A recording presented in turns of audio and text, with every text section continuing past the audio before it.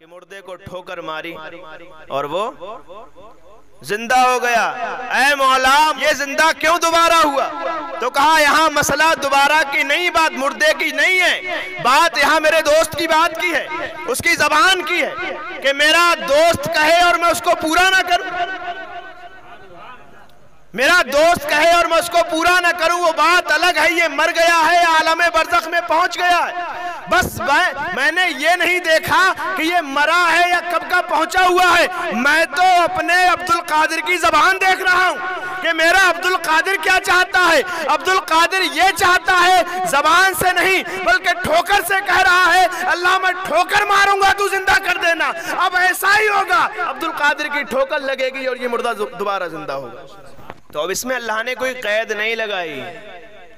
कि यही मेरा चहिता बंदा बनेगा, यही मेरा चहिता बंदा बनेगा, कोई नहीं बनेगा।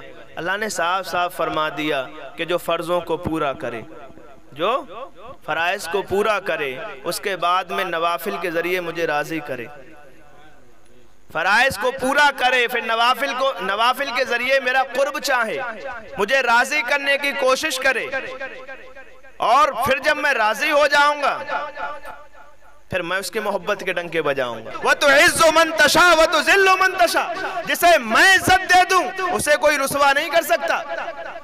और जिसे मैं जिल्लत दे दूँ, उसे कोई इज्जतदार नहीं बना सकता। अब मैंने इन्हें इज़्ज़त दी है, और जब मैंने इन्हें इज़्ज़त दी है तो मेरी इज़्ज़त वक्ती नहीं है।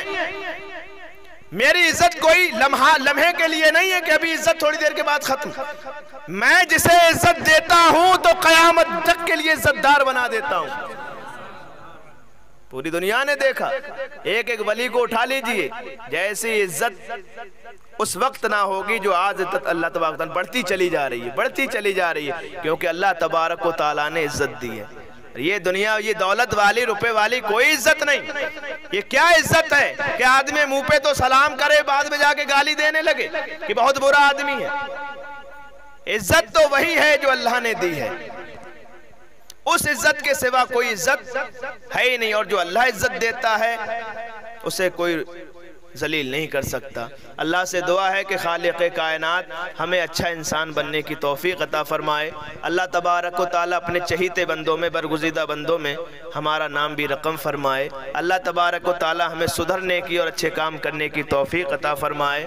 अल्लाह से दुआ है कि खालिक कायनात जिस मकसद के तहत मीलाद शरीफ की महफिल का इनका हुआ, अल्लाह तबारक ताली उसमें रहमतों का नजूल फरमाए, बरकतों का नजूल फरमाए। अल्लाह तबारक ताली रोटी रोज़ी में बरकत अता फ़रमाए गैब से मदद फरमाए वाखरुद्दावाना अलहमदिल्ला रबाल